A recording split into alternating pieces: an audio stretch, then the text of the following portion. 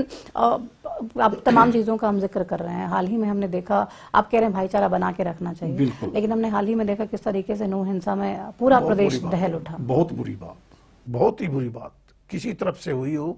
और मैं मानता हूँ ये जो आज का ये मोबाइल और ये जो आईटी क्षेत्र है इसने ज़्यादा कहीं ना कहीं आग लगाई है। और इस प्रकार की बातें हमें पीछे लेके जाती हैं। क्योंकि मैं तो मेवात से भी विधायक रहा हूँ। इस प्रकार की बातें यहाँ नहीं थी।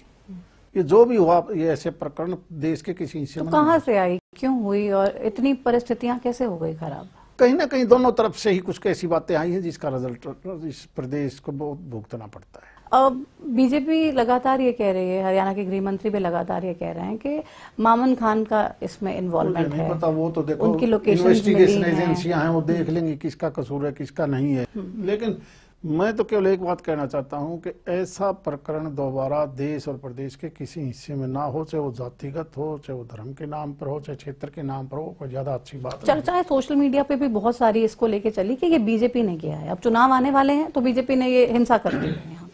पता नहीं वो तो जिसकी सोच है उसकी उसी प्रकार की बात करेगा। कभी जाट आंदोलन करा देते हैं कभी यहाँ पे नू में हिंसा करा देते हैं कभी किसानों को इतना ज़्यादा परेशान कर देते हैं कि इतना बड़ा आंदोलन करना पड़ता है उनको।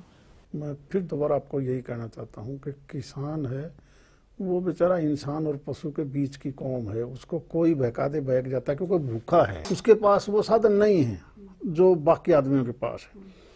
सरकारी सेवाओं में एक पीएन की भी आर्थिक पोजीशन ठीक है बसरते किसान की।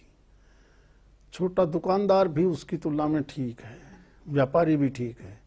तो किसान एक ऐसा है जो बेचारा दिन रात मेहनत करता है उसको अगर आप बहकाओगे तो वो ज़रूर कुछ ना कुछ तो फिर सोचेगा कि भाई मैं ही या मेरे परिवार के साथ ऐसा क्यों? हम्म। मुझे भी तो वो सुविधा चाहिए।